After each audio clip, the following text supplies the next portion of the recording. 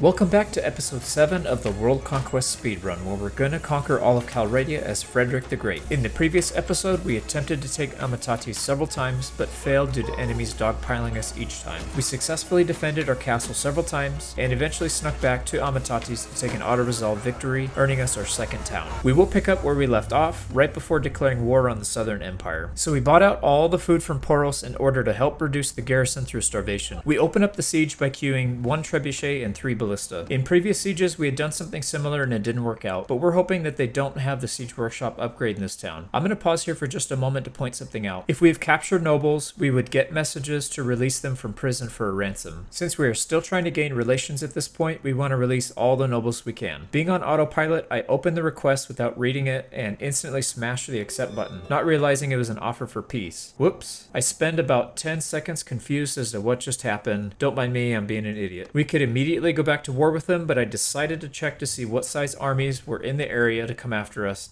and we came across this 500 troop army. They seem to be at war with the Western Empire, so we wait for them to start their siege and lose troops, allowing us to swoop in after for a cleanup action. While waiting, we spot 120 troops of reinforcements, so we quickly declare war and try to section them off separately for an easy win. Unfortunately, they're too close to the siege force, allowing them to combine their troops. We're actually behind on the balance of power here now, but we still should be okay. Pharaon is the clan leader, and he isn't in an army just yet, so we try our luck with an attempt to recruit. This could be our best chance to avoid a large battle. Things start off on the right foot. 100% success chance for a double pass chat check. Next one is 51%, so not bad odds, but we do fail this one. Then a single chat for 80%, and to finish off with another easy 80%. We now have the chance to recruit our first noble into our kingdom. He's the current owner of Poros, so won't come cheap. As we can see, he wants just over 1 million dinars. We have been stockpiling cash for several years now, so we can handle the bill and welcome Pharaon and family into our kingdom. One of his clan members immediately pop out of the enemy army, allowing us to call them into our army along with Pharaon himself. Our original plan to wait for the enemy to lose troops via siege assault goes out the window when Pharaon and crew immediately enter into combat with the enemy. We don't have much choice here and join them. The enemy is heavily outnumbered, so we shouldn't have an issue defeating them while minimizing casualties. The enemy looks to be a little lazy here and sit at the base of the hill instead of climbing to the top.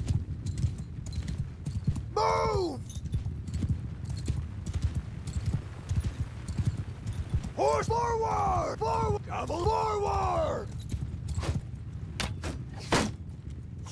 Our infantry and archers approach, causing them to turtle up into a shield circle formation. This makes easy work for our archers who begin to pelt them. Go, go, get a square! Our infantry move into square formation as we expect the enemy cavalry to charge very soon. In order to end the battle sooner, we target the enemy nobles, which will damage his troops' morale significantly. They realize circle formation is not a winning strategy and order a full assault on our position. Our square formation should be able to take out their cavalry with minimal losses, so we move both groups of our cavalry into position to flank. Horsemen! Run forward!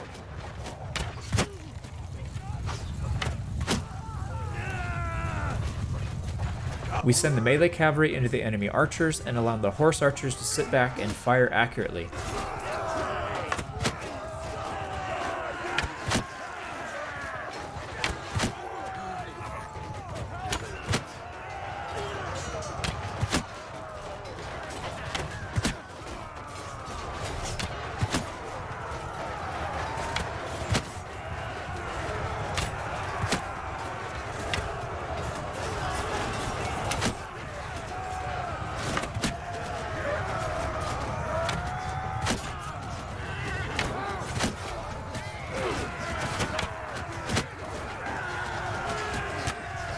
Once the main enemy assault is broken, we pull back all cavalry in order to avoid pointless casualties and allow our infantry square and archers to deal with further attacks. If we let our cavalry roam, they will continue to do damage, but will also take significant damage, and we can achieve the same damage using our archers without risking our expensive cavalry in the process. Again, the biggest thing to keep in mind here is to not overextend after you win the first phase of a battle. We stay grouped up and move as one cohesive army.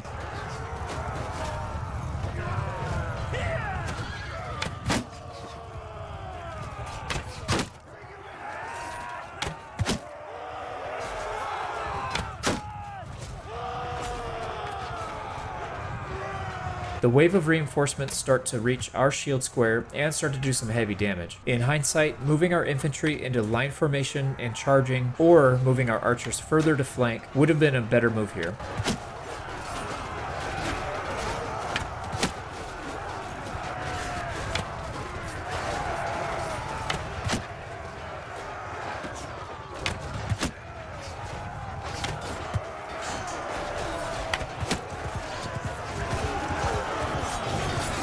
We try to thin the herd with Satan's Tooth, but it's difficult because we must keep moving to avoid being hit.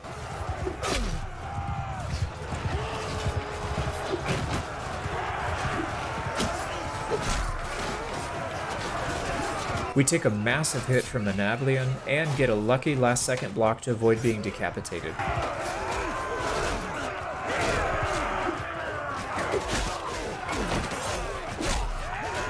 We take another hit and decide to fall back. The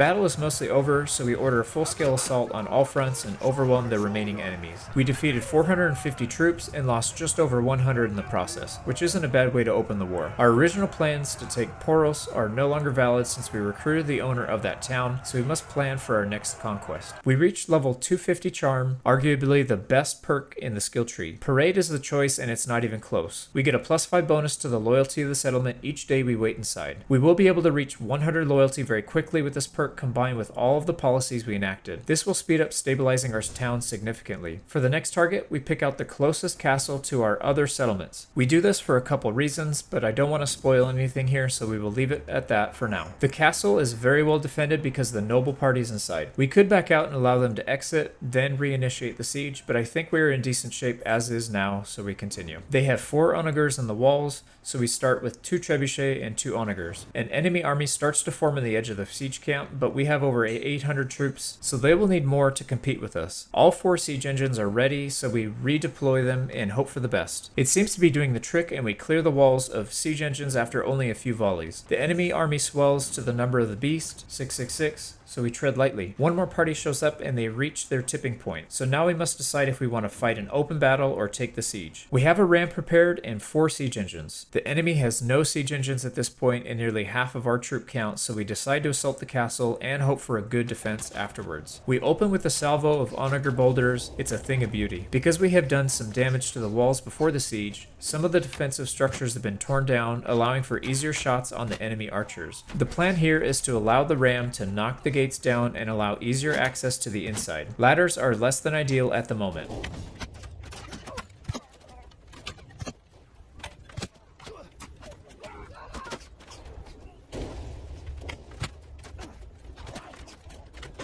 Enemy archers tend to target the nearest enemy, so as long as troops are in front of us, we can proceed without worrying about cover as much.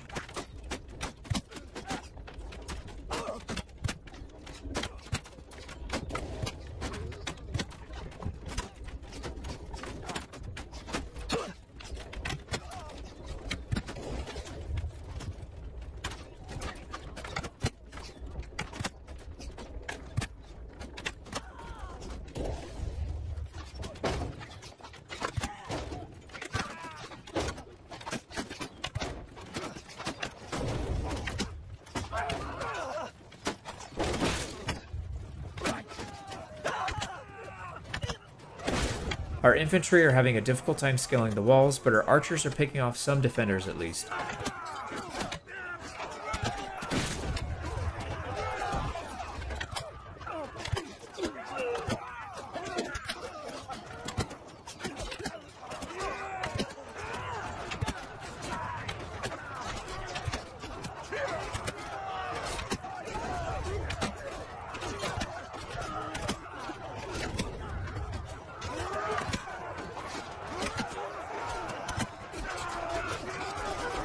We use the last of our arrows and decide to help assault the main gate.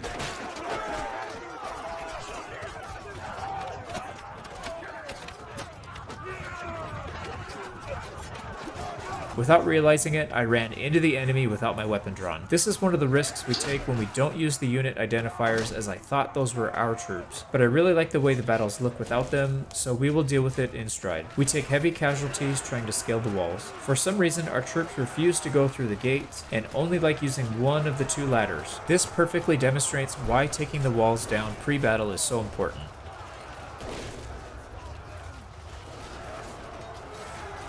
Nonetheless, we take the castle and prepare for the keep battle. We lose 178 in the first phase, which is mostly due to my missteps. We lose another 28 troops taking the keep, but we are now in possession of the castle. Looking at Sestadeim Castle, we can see that there is a lot of work to do. The only positives here are the tier 3 militia grounds and the siege workshop, so we will have to spend some time and money getting this place upgraded. If you look at the castle stats, we see a plus 9 per day from loyalty and plus 8 for security. We only need to stay here for 4 or 5 days before we're maxing out and getting the highest construction bonus from loyalty. Food is already in great shape, so it's a difficult choice between adding more food for prosperity gain or upgrading the walls for better defense. Castles are notorious for not producing dinars, so we stick to the gardens first, allowing us to increase prosperity quicker. The vote for final ownership of Sestadeim Castle is here, and we decide to keep it for ourselves. We could allow Pharaoh to have it, but the AI generally does a poor job defending their own fiefs, so we will build it up for now and either give it to them later or promote a companion and donate it at some point. For the 125 athletics perk, we get to decide between healing and XP while traveling or waiting in town. We go with good day to rest because we will be waiting in fiefs after taking them for a few days to stabilize most of the time. We still have over 100 wounded troops, which will help bolster our defenses as they heal up. Not long after, the enemy decides to break off the siege and walk away. We decide to let our army disband so they can fill up on troops. We will call them back in soon so we can attack the next fief. The previous army decides they want to attack the castle once more. Fortunately, we have ballista being set up if they do decide to follow through this time. Now the enemy is pouring it on. Poros is under siege and one of its attached villages is being raided. The enemy decides the time is right and starts their assault. We head up to one of the ballistas to man it personally. We should have plenty of opportunities to put it to good use.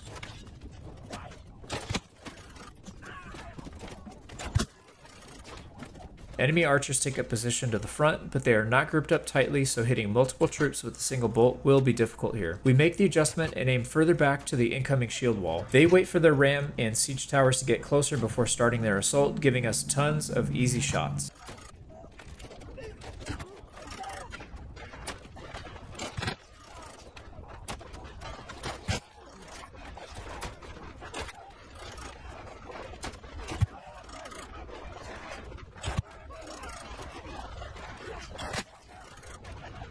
Looking at the balance of power, they are getting torn to shreds.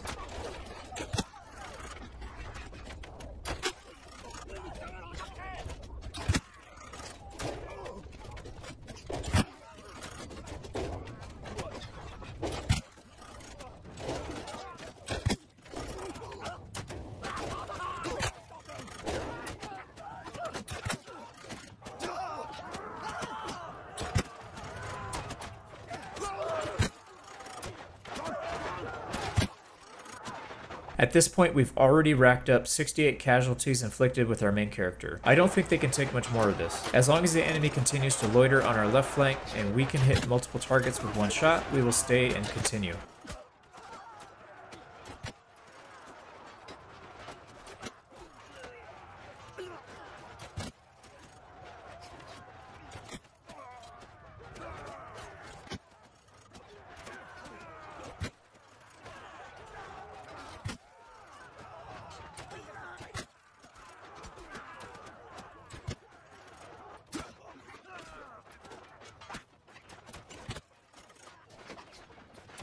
They are starting to thin out, so we switch to bow in order to keep the casualty rate high, since we can shoot single targets faster with our bow than with a ballista.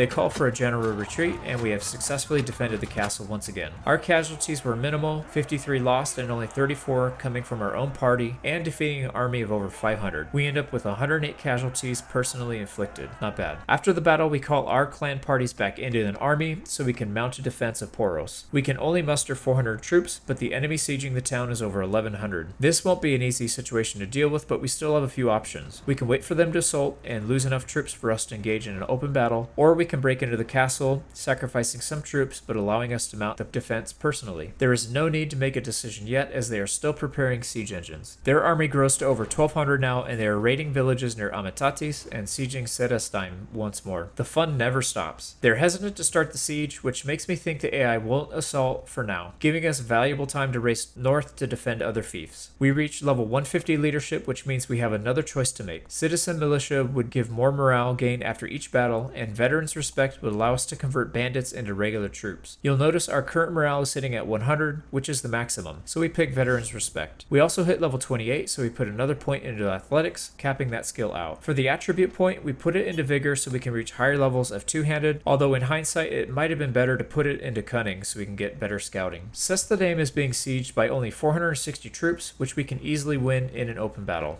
However, we have several sieges going on now and we must be extremely careful with each troop we have. After waiting a few more days, we decide it's best to defeat them quickly so we can move back south to help Poros. The enemy starts pouring out of the woods, charging straight for us, so we set up the shield wall in front and archers behind and on the hill. We will have the height advantage for this battle. Move! Move!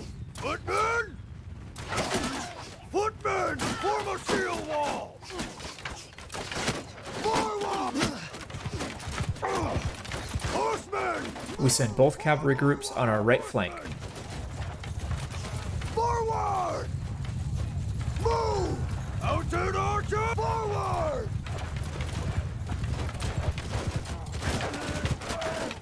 They seem content to trade arrows with us, so we oblige and shoot a few of our own into their archers.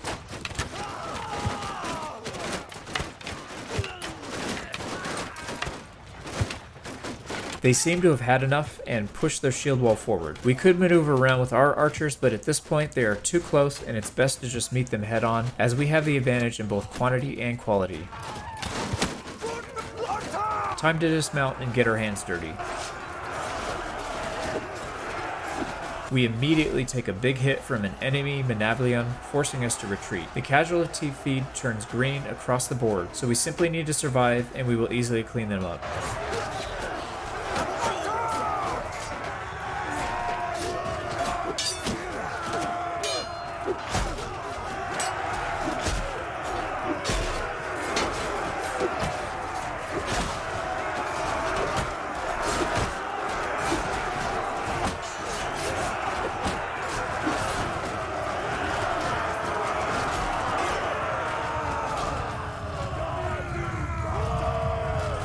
Again, their initial advance is crushed, so we pull the troops back to avoid overextension. Shoulder to shoulder!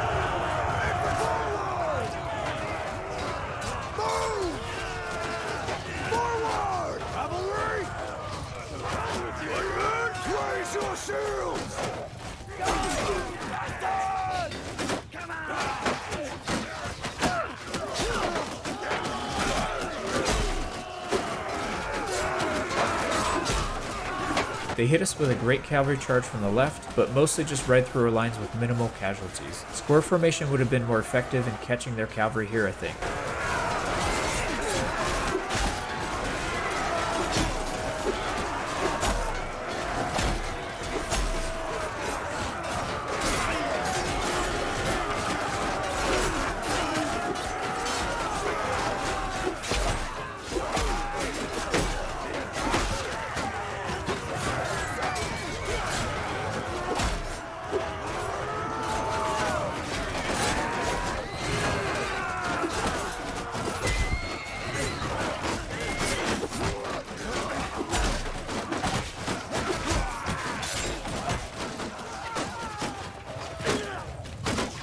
Get a nasty hit on a passing cavalry, then his buddy falls from behind with a sweet revenge hit and we go down. The battle is mostly over at this point though. We lose 51 in total and wipe out another army of nearly 500 in the process. Staying around the 10 to 1 ratio should be the goal every time in larger battles when possible. Our surgeon hits 125 and we get to pick between siege medic and veterinarian. I don't find veterinarian all that useful as we can buy all the steeds in Calradia without an issue for replacement, but losing less troops during a siege can be nice. I do remember the second perk not working properly according to bannerlordperks.com. We race back south to help once more at Poros, but the attackers leave before we get there. Now the whack-a-mole begins. Back up to Sestadeim Castle and defending once more. The enemy forms a circle shield wall and allows us to pummel them with arrows.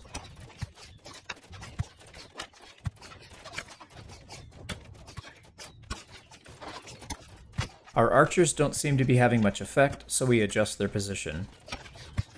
Archer, move! Forward! Move! Archers! Forward! Horsemen! Move! Move! Now they have some elevation on the enemy and the kill feed starts to go green again. Forward! They break their formation and start to push forward. I don't really like this position as we will mostly trade with their infantry and falling back some will allow our archers to get a better angle. However, I was getting a little impatient and decided to move our shield wall up and let them duke it out. Fortunately, our archers still have a good angle on the enemy from here.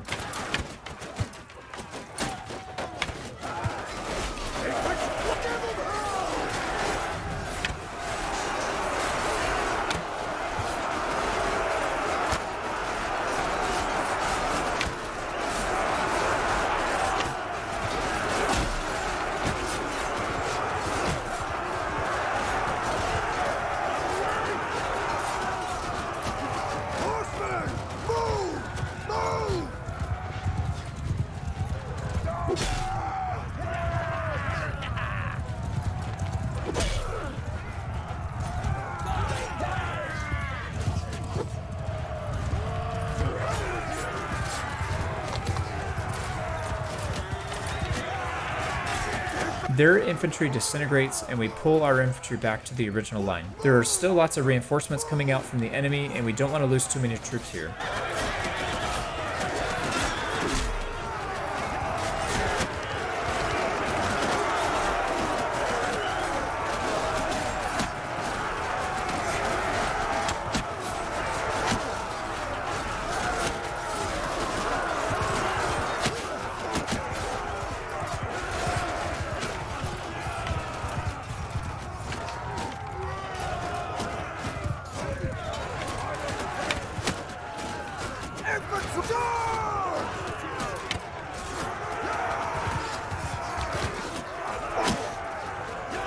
Get picked off by some snipers from the trees, but once more the battle is mostly won at this point. We suffer just over 100 losses to the enemy's 450, so it's not a great battle to be honest, and we could have done better. After resting in the castle for a few days to recover, we get notice of another siege. Poros once more, but this time the army is only a fraction of the previous size. They do initiate the assault this time, so we carefully watch the defenders' numbers to determine when to best intervene. By waiting a little bit, we no longer have to face an army in the 700s, but less than half that number. We even have reinforcements from Pharaoh's clan to aid us. The enemy decides to not take the defensive hill they spawn near, so we flank to take it from them. For some reason, they run straight at us, allowing us to pick them off from the heights.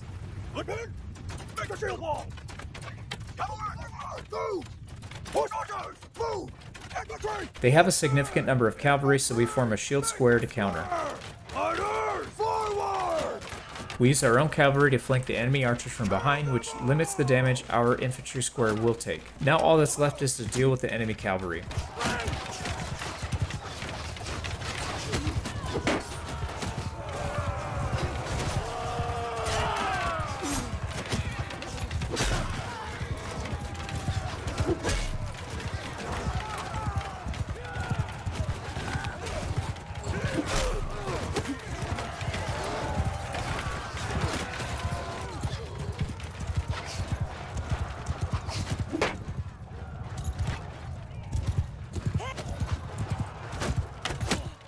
The infantry square is working its magic as usual and the enemy cavalry are dwindling quickly.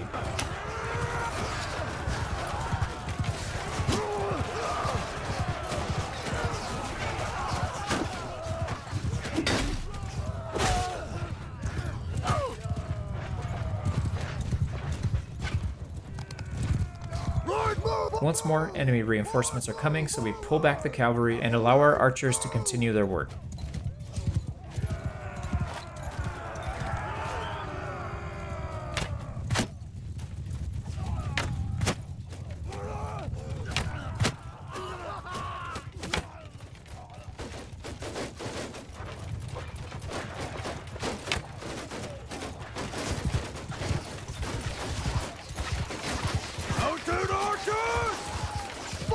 Forward! Horsemen move! Forward! Riders!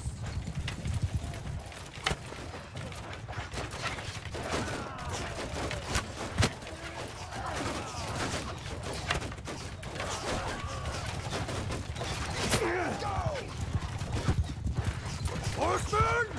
Move! Mount move! Forward!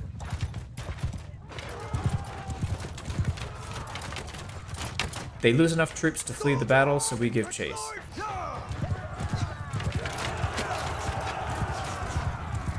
Because of our superior positioning and avoiding a direct engagement with our infantry, we only lose 15 troops. We wiped out an army of over 300, more than 20 to 1 ratio this time. We head back to Lycaron to get an update on the town's progress. Loyalty is staying at 100, and we are gaining more than 4 prosperity per day, which is a huge amount. It won't be long before this town catches up to some of the best in Calradia. We finally reach Charm 275 and take the final perk. We already have 1500 influence in the bank and all the good policies already, but it's nice to have more than we need in case our nobles decide to vote against our policies at some point. At 275, we are gaining plus 5 influence per day from the perk. Once again, the enemy commits the unforgivable sin and raids Farron's village. Fighting large battles in a village setting can be tricky for deploying archers. There are often lots of choke points and make it great for infantry tactics, but a nightmare for archer and cavalry. We also spawn significantly closer to the enemy, giving us precious little time to organize our troops.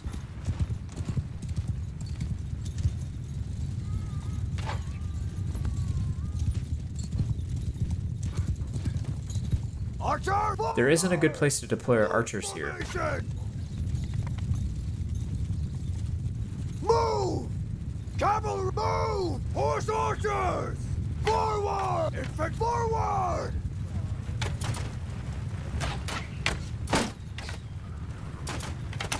We push our infantry up to their line before they trap us in a choke point. Move!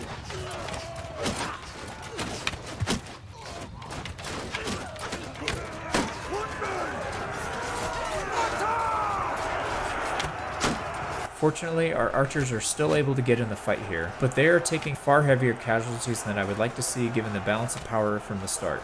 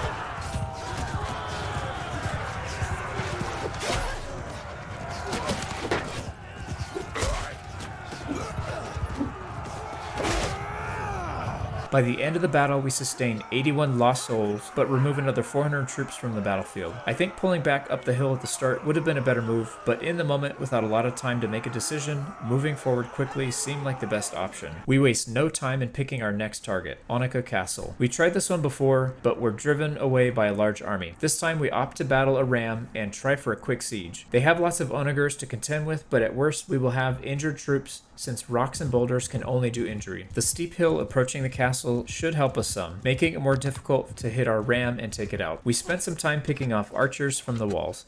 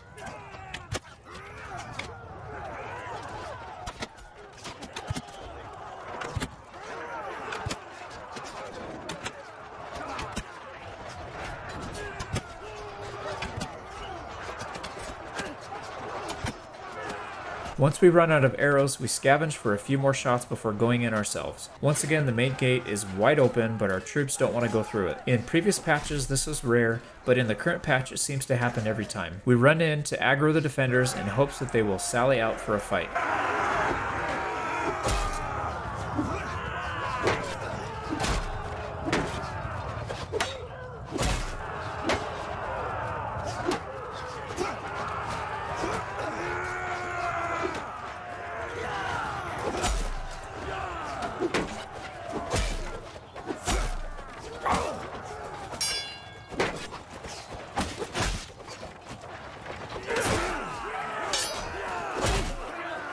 Plan works like a charm, and our ladder troops are now fighting them on an even playing field.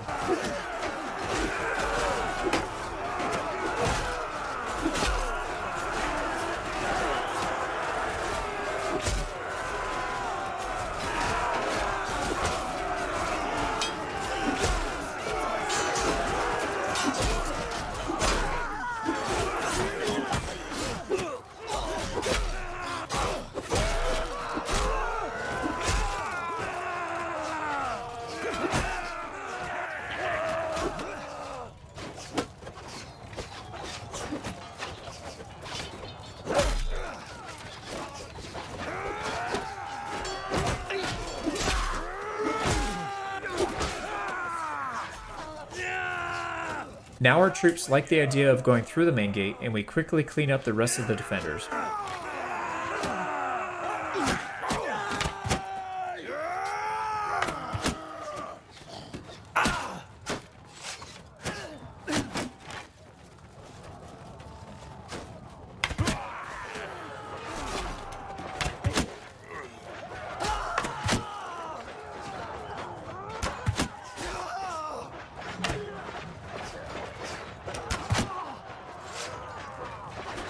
We get caught with our pants down in the main gate, but our troops pick up the slack and finish the assault. We end up losing 106 troops, which is an acceptable number given the circumstances. The battle for the keep is also won, and we only lose one in the process, and Onika Castle is ours. The prosperity is almost a thousand, which is pretty good for a castle. Food levels are good, even without a garden, and most buildings are upgraded here. There isn't much to do, aside from upgrading the food production for more prosperity gain. We drain the castle of its garrison in order to replenish our losses. Now we have a very important decision to make. Do we take the castle for ourselves, or let Farron have it? The castle is already in great shape, so I don't mind handing it off right away away. By giving it to Farron, we also open up another avenue for our own clan, the town of Poros. Farron only has 78 influence at the moment, which means we can easily defeat him in any vote. We quickly go to the policy and pick up precarial land tenure. If you've watched my guide on leadership and charm, you may know what's coming next, and it's one of my favorite things to do in all of Bannerlord. Now we can call a vote for fief ownership of any clan within our kingdom at 50% of the influence cost. We want to control as many towns as possible since we will manage them better than the AI will. Next, we call a vote to redistribute the town of Poros to somebody else within the kingdom. Since we're the only other clan, we are the default vote. We now own all towns in the kingdom and can continue to give away castles that we own to replace towns from nobles that we want to recruit. While waiting in Onika Castle for loyalty to top out, we see this group of hostiles approach and